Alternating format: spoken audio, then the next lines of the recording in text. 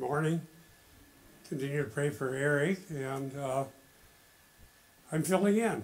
We even updated the date I see on the sermon. This was originally from about three years ago. But this is a central passage in First John that describes the contrast between living for Christ by His grace or serving the world. And the contrast is very stark, and though in, in various cases outwardly may look this way, that way, or the other way, in regard to the basic motivations of what makes us uh, live and believe, breathe and believe and motivates us has to do with very hard issues. We're living for Christ and loving Him, or we're living for the world and loving its sinful pleasures. Let me read the passage. 1 John 2 15 through 17.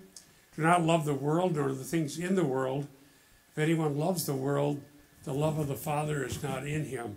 For all that is in the world, the lust of the flesh and the lust of the eyes, and the boastful pride of life is not from the Father, but from the world. But here's the problem if you live for the world. The world is passing away and also its lusts, but the one who does the will of God lives forever. Now let's start right in with this. 1 John 2 15. We'll, we'll do the first part of that verse.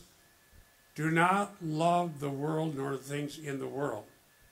And we have, as I say on the slide here, an imperative, which means it's a command from God.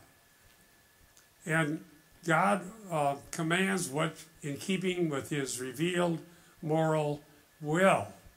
In Sunday school, I was mentioning that I've been rereading uh, Martin Luther's book, The Bondage of the Will, which is difficult reading, but I'm about half through my reread, taking notes, fold, folding over corners, putting paper clips in, underlining. Boy, this would be a good thing to explain. And this kind of issue comes up here. It, let's just say you read this and you, you don't know Christ. And it says, do not love the world or the things of the, of the world. And it's a command. And in Luther's dispute with Rome, Rome's issue, as expressed through Erasmus and through diatribe, was God only commands what humans already have the ability to do. So therefore, there's no point commanding something unless we're just full of ability and just can do it. And Luther disputed that vociferously and using many different illustrations and from various verses that they try to use for, for proof texts. And what Luther proved was that the command to be a certain way doesn't imply that fallen sinners already have what they need. It implies that this is the law of God to drive us to the gospel. What this is designed to do, according to Luther, and I think according to the Bible, according to Paul, because Luther wasn't an apostle, but Paul was, and John was, is that if we think that human ability is what the gospel's about, we're deceived.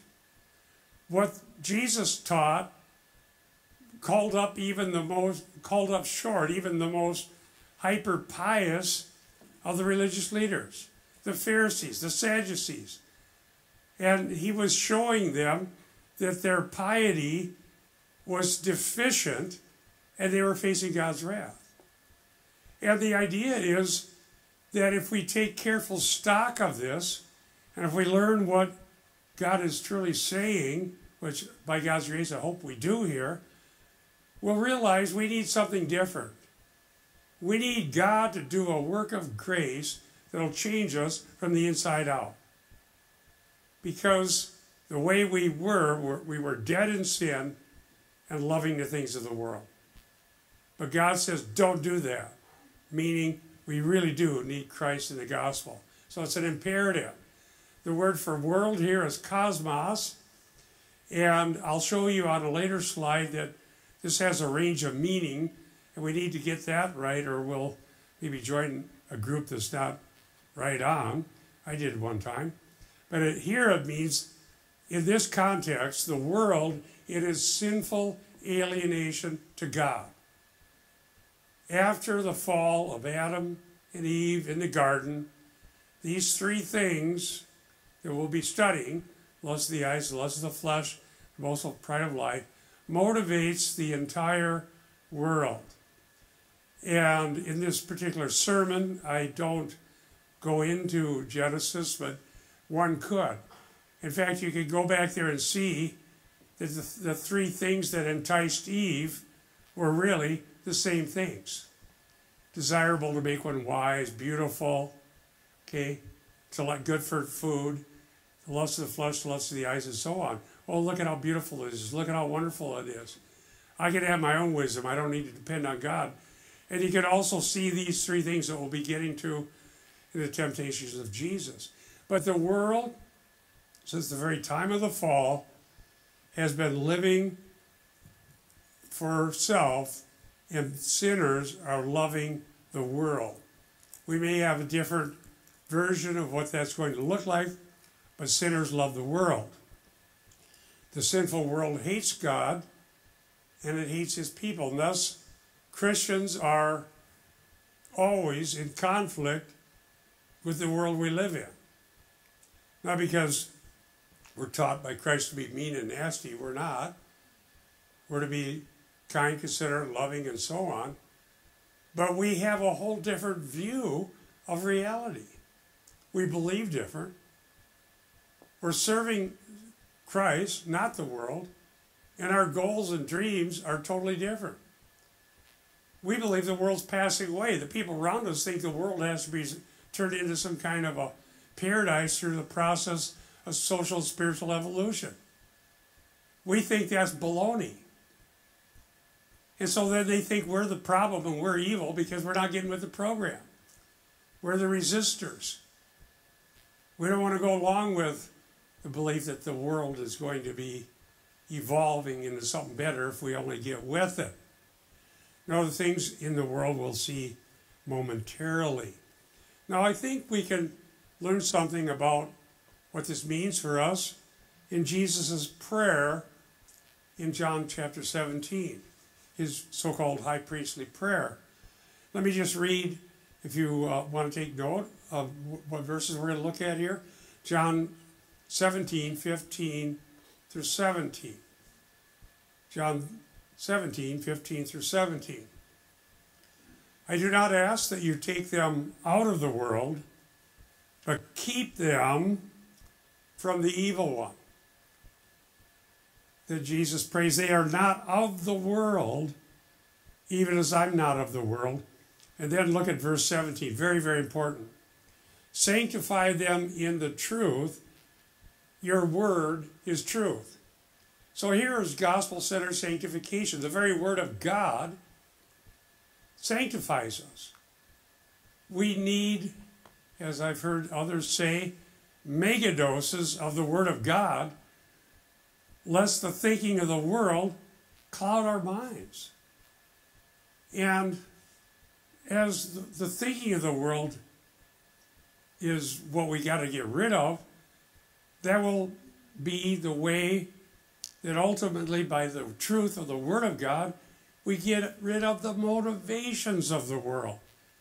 People are motivated by worldly things because they think like the world. And if you're thinking this is all there is and I've got to get whatever satisfaction or fulfillment there is now, and I better get right at it any way I can, you're thinking like the world. But if you know the truth, Jesus prayed that we would. We're still in the world. We're still there with people who live for the world and think like the world and are motivated by the world. But if we know the truth, the truth of God informs our minds so that we realize I can't be like this anymore. I can't live like this anymore. I need God to change me. Life has to be different because we know Christ. And then we do have and will have until the rapture or we go through death to be with Christ an adversarial relationship with the world, not because we're mean and nasty and hard to get along with, but because we have a different system of belief and values. We see that in John 15. I'm going to, if you want to take note, John 15, 18, and 19. John 15, 18, and 19. If the world hates you, you know that it has hated me before it hated you. Don't be shocked. The world hates you. You don't think like the world, so you don't fit in. Verse 19 If you were of the world, the world would love its own. Oh, yes. Over the years of ministry, how many times I've talked to people who backslid and then realized how bad that is.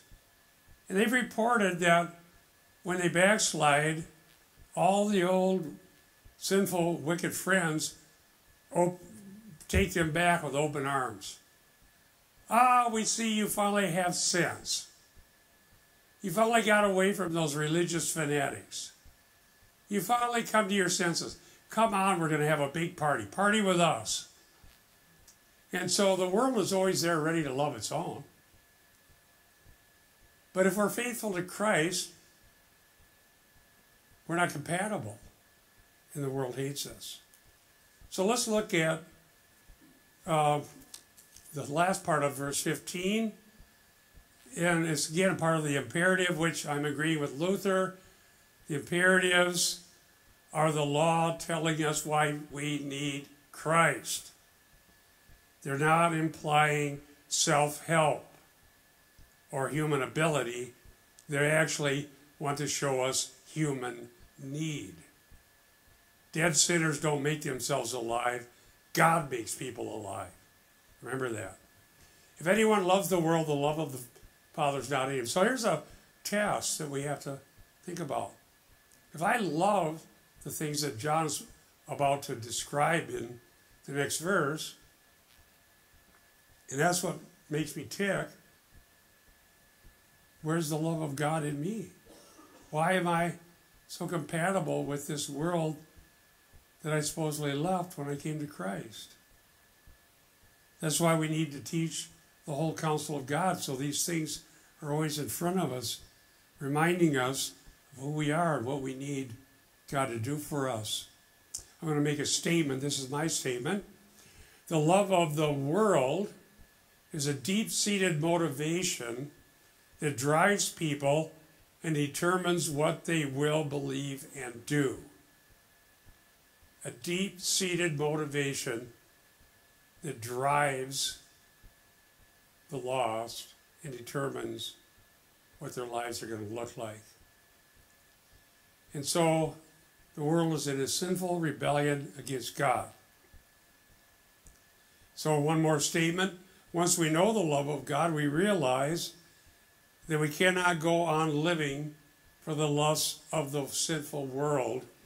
Our beliefs and attitudes must change. And as I showed you from the high priestly prayer, Jesus prayed, Sanctify them in the truth.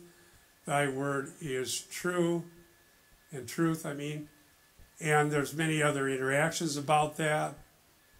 In John 8, Jesus had spoken the truth to people, and they decided to believe it. They were going to believe in him, but then he said, If you continue in my word, you'll be my disciples indeed, and you will know the truth, and the truth will make you free. That's in John 8.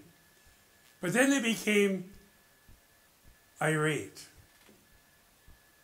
because what Jesus told them was that they're not free. And they said, We've never been in bondage to anybody. Who are you to tell us we're not free? They had believed in him with mental assent. But Jesus said, No, you're not free. You need to continue in my word, be disciples. No, no, no, no, we don't need that. We've never been bondage. We're Abraham's children. These were Jewish people. He was, and a huge debate happens in John 8. You want to read that? I'm sure you have. Oh, it's a fantastic section. And then eventually they're wanting to stone Jesus, who they previously believed in. And he says, You're of your father the devil. You're saying, Well, we have Abraham for a father. No, no, you, you got it wrong. And boy, it was a very strong contrast and and confrontation. But it doesn't do to just put a label, follower of Jesus, and have nothing change on the inside. Once we know the love of God, we know we cannot go on living for the lusts of the sinful world. How do we know the love of God? Some well, this is I covered it. I preached through First John a while back, but eventually I went to First John four ten, which says this: "In in this is love, not that we love God, but He loved us and sent His Son to be the propitiation for our sins." It means the blood of Jesus appeases God's wrath against sin for those who believe.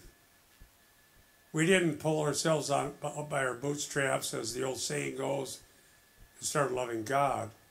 He first loved us. And that says that in 1 John 4 19. He loved us.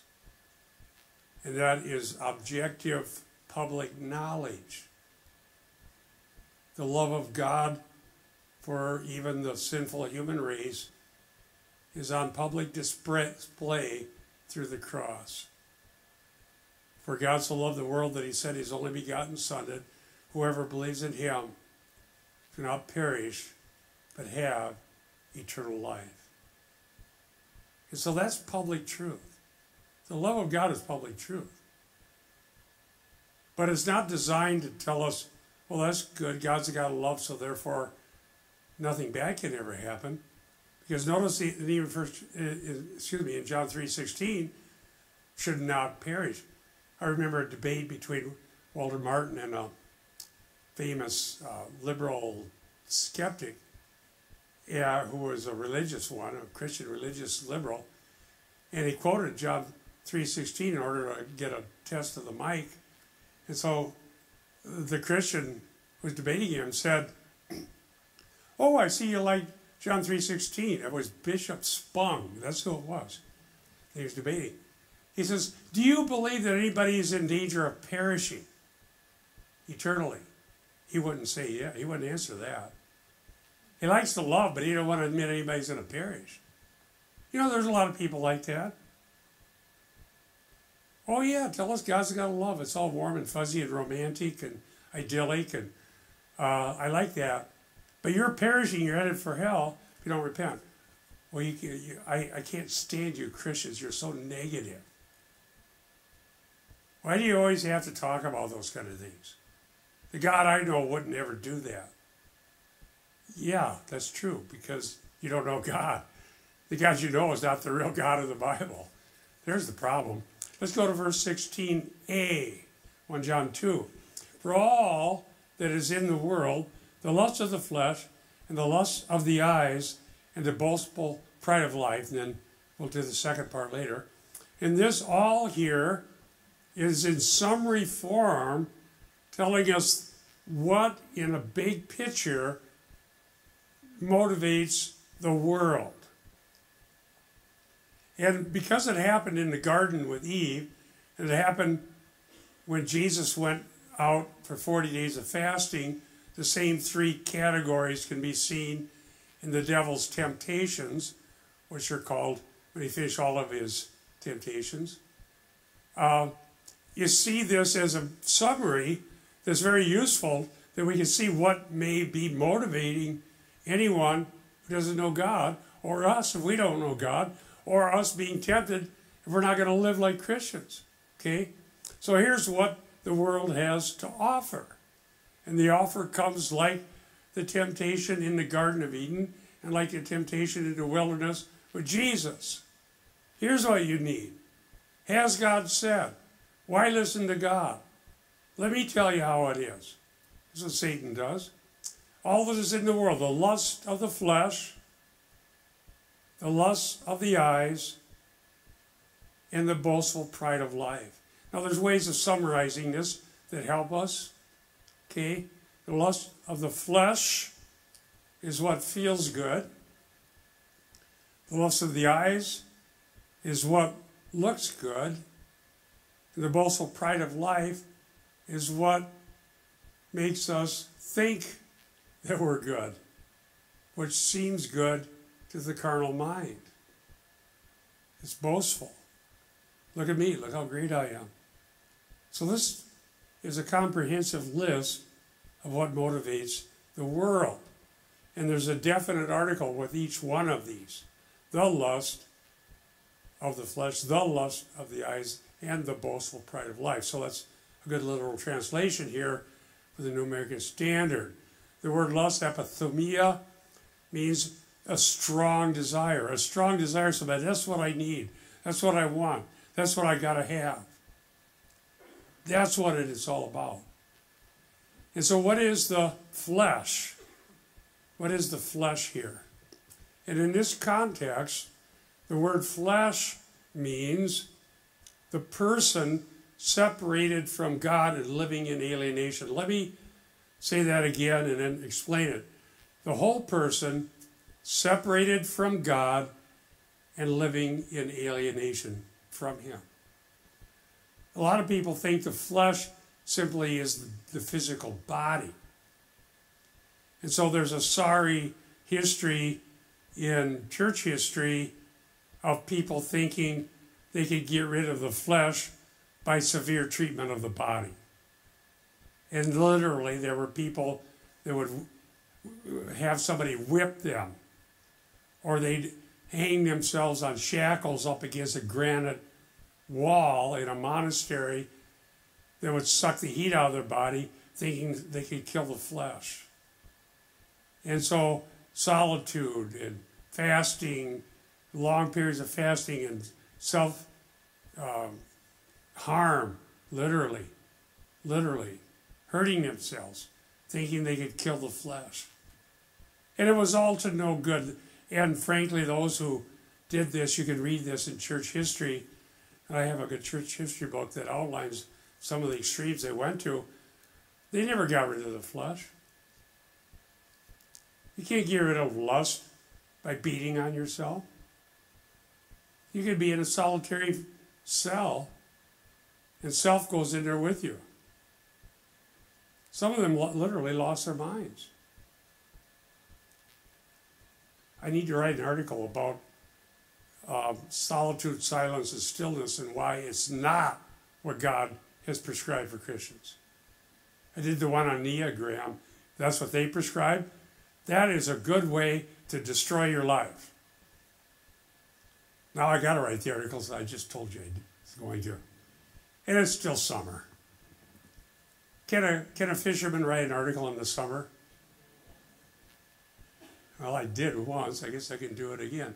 And now Jessica heard it, so she'll make me do it. she said, We need an article for CIC. But I, I need to deal with that because that's what's being prescribed in Bible colleges for Christians. Go sit in solitude. That's not going to get rid of anything. Alienation from God doesn't go away because you're all alone. Alienation from God doesn't go away because you're inactive. Alienation from God doesn't go away because you're silent and you don't say anything. It's all for naught. And so these lusts are all about the motivation of the world and it's part and parcel of being alienated from God, being born dead in sin. We saw that in Ephesians 2, for you are dead. It says in 1 Corinthians 15 22, and Adam all die. Being dead doesn't go away because you sit in a monastery. You're still dead. You need something different. You need Christ. Boastful in the Greek is alazonia, and the same is used in the book of James. And if you want to take note, James 4 15 and 16. If you can turn quickly, that's fine too. James 4 15 and 16. Boasting is a kind of pride that arises from one's position, possessions, or status in this world. position, possessions, or status. Look at me. Look at who I am. I'm important. There's a guy in the Bible, Daniel, who learned a good lesson about that. Remember Nebuchadnezzar? I love, don't you love that? Don't you love the Bible? You can't learn it all. You're always learning and you feel like it's all there for us, but you spend your whole life studying, you're still seeing things, learning things. Nebuchadnezzar, this is Babylon the Great that I built with my hands, and he's, gonna. And what happened to him? He went crazy and ended up eating grass like a cow. But he came to his senses and he honored God. Who are we living for? James 4.15, instead you ought to say, this is what Nebuchadnezzar learned, frankly. You ought to say, if the Lord wills, we will live and also do this or that. We don't know the future. We don't. We have things we would like to do, and maybe it'll happen, maybe it won't.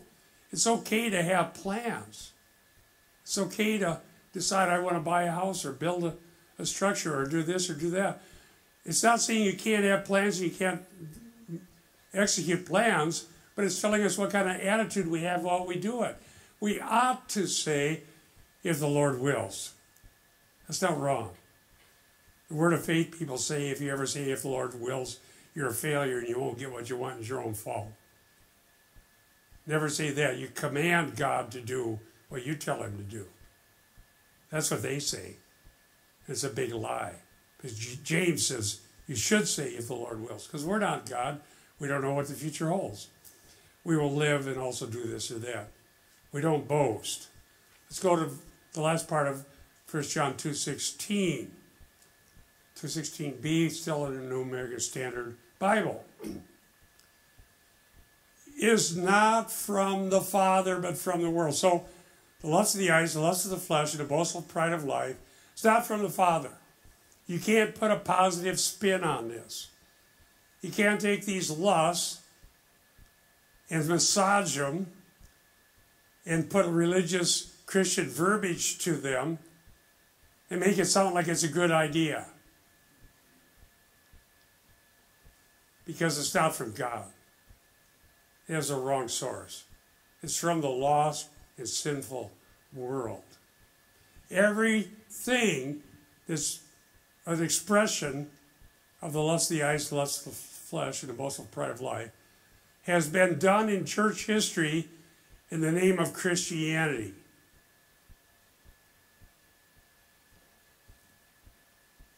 From bad motivations and abuse of people. So it started the Reformation. The lust of the eyes. We've got to have St. Peter's Cathedral. It's got to be glorious. It's got to be gold gilded. We need lots of money. We need the money from all the very poor people that can't even afford bread because we got to have this thing and we have this glorious structure, the lust of the eyes, and we can say, This is Christianity. Are you pathetic losers.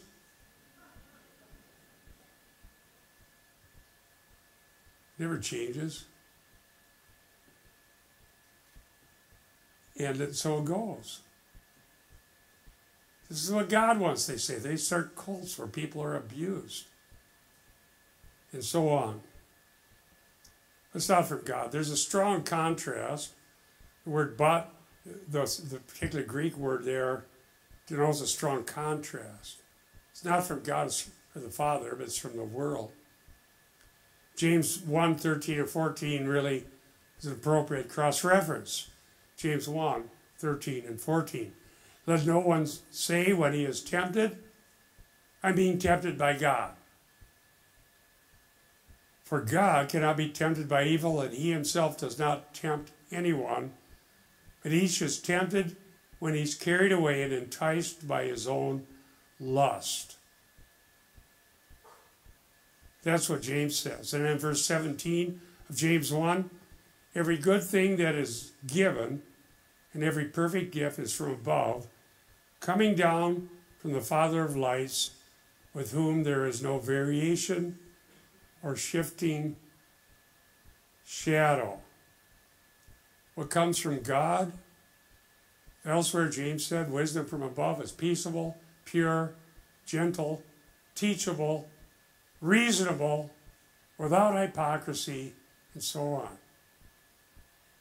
God isn't capricious. God isn't playing games with us.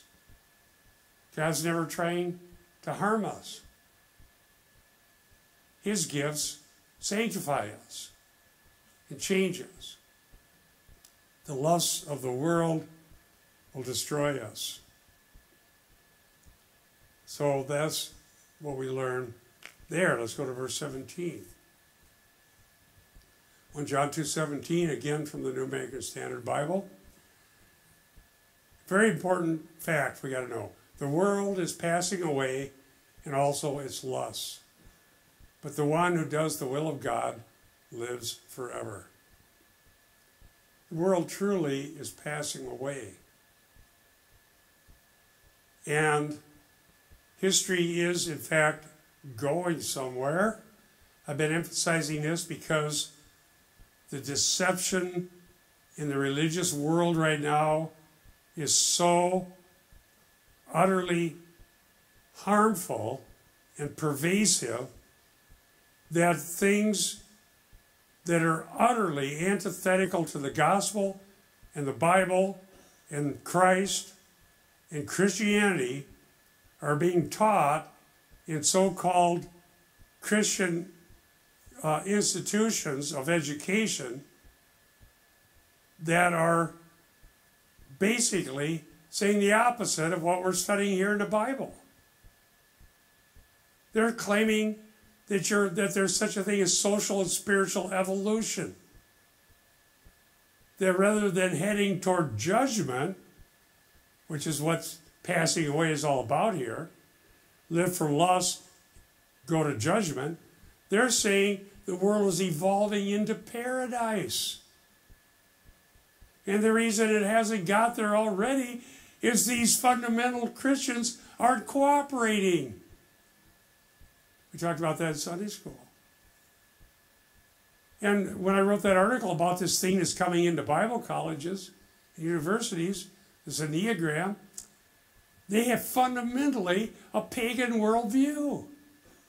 There's not one thing in these teachings that they are foisting upon our children that says that the end of history comes with judgment, which is the most fundamental and basic idea that Christians have always had from the Judeo Christian Word of God. God. The history begins with creation, it's linear, it ends with judgment. A lot happens in between. In the center point is the cross, coming of Christ. You send your children for a lot of money to some place that's supposed to be Christian, and they're telling your daughter or your son, don't worry, there's no future judgment. Everything's evolving into paradise. That's what that's, that's what's going on. That's emergent. I wrote a book about that. And they say it. And the people running these things don't have a clue about what the problem is, or they're part of the problem. Which is sadly more likely. I was doing a debate with one of the emergent leaders live on radio some years ago.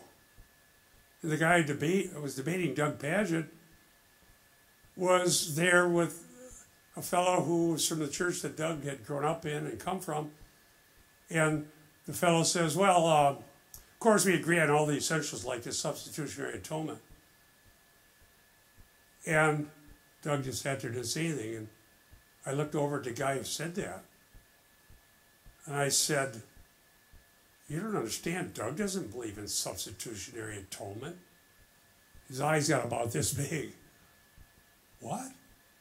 A guy from our evangelical church doesn't believe in substitutionary atonement? He looked over at Doug, and Doug says, he just shook his head. No, I don't. No, I don't. At least they're honest. The emergent people all told me they don't believe in future judgment. I asked them, no, we don't believe that. So why would you believe any of this? The slide here 1 John 2.17, the world passing away, they just threw that one out. It's not, that's not going to happen.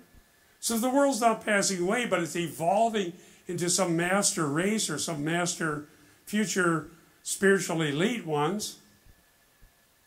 Then why wouldn't you live for the lusts of the world? It's not going to pass away.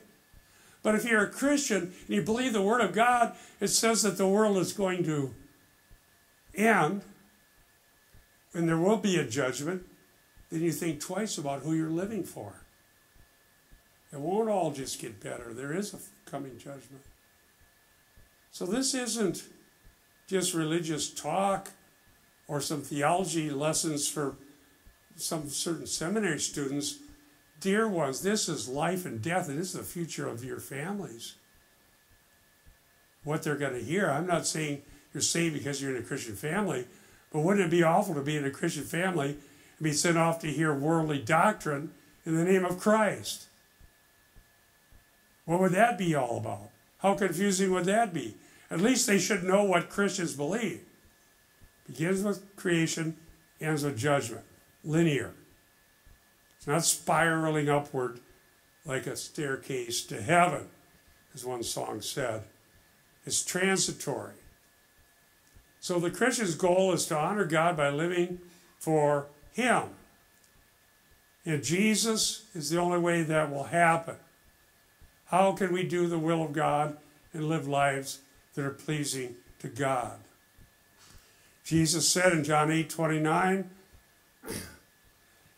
uh, this is very important. John 8 29, and, he's, and he who sent me is with me, and he has not left me alone. Notice Jesus said, I always do the things that are pleasing to him. Which one of us could say, I always do everything that's pleasing to God. We would be called up short. I wouldn't want to say that because I'm needing continual cleansing. I need God to change me. Only Christ is sinless. Only Christ always did the things pleasing to God. We need to be found in Christ if we're going to be found pleasing to God. Notice in John 6.38, I have it listed out here on the PowerPoint, where I've come down from heaven not to do my own will, but the will of him who sent me. And so that would be living by faith and trusting Christ and living with a value system that's eternal and not temporal and transitory and so on. Now let's have some applications to this. And so we want to think about what also about what Christ did for us. We have communion today. Now I'm going to point out the range of meaning. The word cosmos, world, doesn't always denote just the sinful aspect of it. It's also a place where we live right now. And then we must be committed to God's will and we escape the world's lust by the promises of God. You knew I'd get to those, didn't you? I'm always talking about the promises of God. What a comfort they are. Now, here's a slide as we go to the next one here that I made a long time ago, and I've used it several times. Um, I was confused about this, and I got some great help from a Bible college teacher who explained it to me, and it was very revolutionary for me as new Christians, uh, Diane and I joined a group where we were hoping to escape from living in what they call that group called Babylon. And the leader of the group would talk about getting out of Babylon, and he had versions of it. There's religious Babylon, which would be Bible college, the church, anything normal.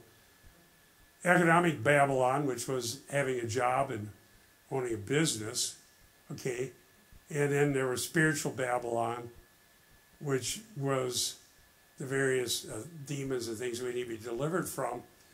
And the idea of the way to get out of Babylon was to join a Christian commune and live together. Now, it's not a new idea, as old as monasticism is. But we joined, it was a evangelical group and believed in the Trinity and did believe in the blood atonement, the gospel. But we were mistaking uh, excuse me, we were mistaken about the meaning of the word world when it says love not the world. Because we thought having a normal life, owning a home, having a job, and sending your kids to school was Babylon, and we had to get out of Babylon. But then that's not what that is. So here's the word cosmos out of a theological dictionary, and it gives the three big ways that word is used in the New Testament. Actually, also in the Septuagint. Cosmos, first entry here is world one, the universe, the sum of all created being. So the entire creation can be called cosmos. Well, obviously, you can't get out of that.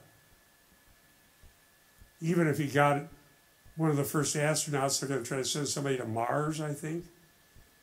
Frankly, I'll, I can tell you right now, they're not going to really find anything there. But you'd still be in the world, you'd still be in the universe. Um, and, and then um, you can't leave that, so that's obviously just the creation. And then the second meaning, the abode of humanity, the theater of history, the inhabited world, the place of human affairs. There's where we were mistaken when we joined that group. We thought we had to get out of that part of it and have our own little Christian thing that's not really like the world. Mistaken that is what led to monasticism and the Desert Fathers in the early centuries.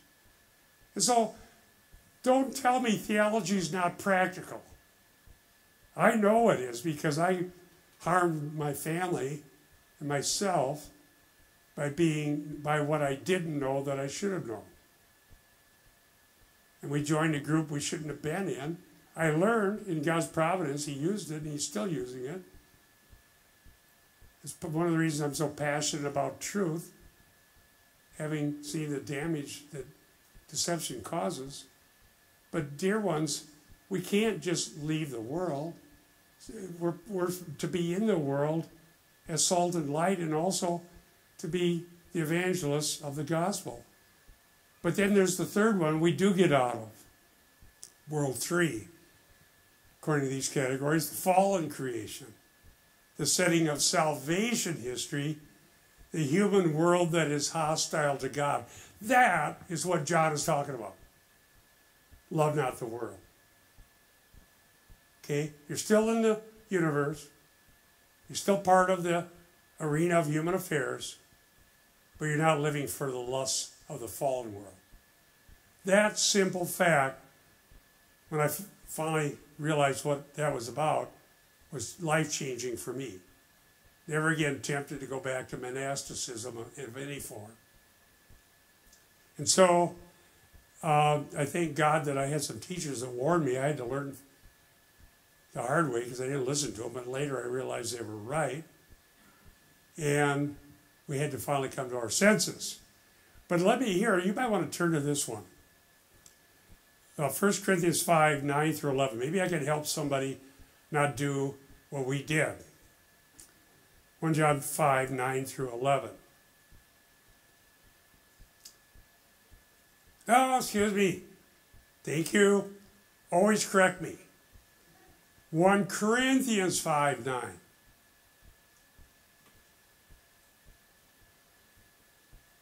You got to take a preacher but for, by what he means. I meant to say 1 Corinthians, 1 Corinthians 5 9. 9 through 11. Let me cite that. You, are going to want to know this passage. I'm hoping, by God's grace, eventually teach through 1 Corinthians. It says this I wrote you in my letter not to associate with immoral people. And then he said in verse 10, I did not at all mean with the immoral people of this world, or with the covetous, or swindlers, or idolaters for then you would have to go out of the world. Notice, uh, before I do verse 11, Paul is literally identifying these categories. World two would be just the arena of human affairs, which is full of idolaters, covetous. You get a job, you're going to work, work with people that are like that. If You go to school, you're going to learn with people that are like that. If you do anything, you go to the gas station, you're going to run into people like that.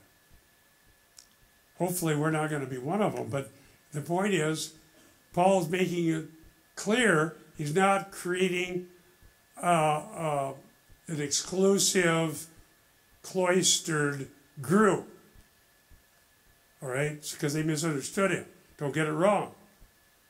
But actually, that he corrects their misunderstanding of what he taught when he told them not to associate with immoral people, verse 11. But actually, I wrote to you not to associate with any so called brother if he should be an immoral person or covetous or an idolater or reviler or a drunkard or swindler, not even eat with such a one. Now, Eric has talked about this a lot. That is what the Bible the Old Testament calls sitting with a high hand. This is what I'm going to do. I have a right to do it. You're not going to stop me. That's sitting with a high hand. That's what Paul's talking about. Because then the church becomes the world if that's how we live. So don't get it wrong. We don't have to join a convent, but we do have to not live as if we were never saved. Let's go to 1 Peter 4 and verse 2. 1 Peter 4 and verse 2. So this is talking about, let me in fact read verse 1 before I read verse 2. Therefore, since Christ has suffered in the flesh, arm yourself also with the same purpose, because he who has suffered in the flesh has ceased from sin. Then it goes, so as to live the rest of the time in the flesh, no longer for the lusts of men, but for the will of God. To live for the will of God means there's things that we desire that we leave behind. And we just know it has to be left behind. That's living for the will of God. And the word lust here, again, here's our word. So there's an either or, there's a change. But is a, another instance of this strong adversative. So rather, rather than living in the flesh for the lusts of man, but we live for the will of God. So we embrace whatever that takes. If it means not doing what we feel like doing, so be it. God's will is the alternative to epithumia, lust. I have a statement I want to make about this passage. This suffering to be committed to God's will happens because the whole world around us is saying that fulfilling lust is the way to go. We must battle the prevailing winds of worldly thinking that would drag us away from God. The world says, this is all there is. Live for all the gusto. This is it. Now's the time. God says, no, live for the will of God. And that is central and essential to the Christian life and sanctification. See, if the Word of God doesn't inform us, we'll never be sanctified. Because we'll just keep thinking like the world. We need this continual reminder of what's true, why we're here, and what we're living for. So that we won't be conformed to the world. I have one more slide here. It's 2 Peter 1 4. And here we'll have the gospel. As I'm reading the bondage of the will, I'm seeing again, really, uh, Luther did the right thing when he withstood Rome and talked about promise and law and why we needed to flee to the promises of God because of human inability. I noticed that Luther would use the term gospel and then interchangeably use the term promise. Okay? The gospel brings promise. The law brings threatenings of judgment. We need to flee to the gospel. The gospel is the gospel of Jesus Christ. And when we preach Christ, we define who we're talking about because there are many false Christs being taught in the world. Christ, the second person of the Trinity, is God, the second person, there are three persons, one God, the Trinitarian God of the Bible. Christ pre existed as God and with God. And according to John 1, we've been studying John's writings today, he is the creator uh, and the very creator of the universe came into our world from heaven and revealed himself as the eternal Logos, the Word. And he spoke the very truth of God. And Christ is not just some religious leader who arose from amongst all the sinners in the world. He's the sinless Savior who was born of a virgin and lived a sinless life. As we quoted earlier in John, he said, I always do the things that please the Father. Jesus predicted his own death on the cross, and he was crucified, as was the manner of the Romans. His Jewish brethren uh, turned him over to be crucified and shouted, Crucify him, crucify him. He was rejected by his own people. The world was hostile to him. The Romans crucified him, where he died a slow, painful death, shedding his blood as a substitutionary death for sins. The Holy Sinless One died for the sin of wicked sinners like you and I who are living for the lust of the eyes, the lust of the flesh, and the boastful pride of life. But Jesus did not only predict his death and the manner of his death, he predicted his resurrection. In the very Gospel of John, Jesus said, I am the resurrection and life. He who believes in me shall not die, but have the light of life. And so he was raised bodily. And then John, he appeared to his disciples. He ate fish with them. He had a real body. So called doubting Thomas was, in fact, believing Thomas. In our time, believing it was Christ who had told them that he'd be raised.